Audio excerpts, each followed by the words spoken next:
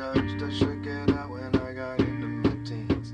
Maybe become a boxer or maybe become an actor. Just get somewhere that I can be seen. I learned to be guarded when I found I was a pounding. And nobody else can tell you how it feels, and I can't tell them. And the key to happiness is to see.